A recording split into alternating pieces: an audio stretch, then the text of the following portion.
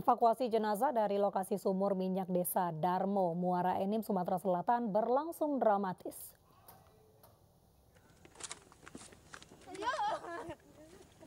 Wanita ini menangis histeris hingga pingsan ketika petugas membawa jenazah suaminya setelah hilang selama 44 hari.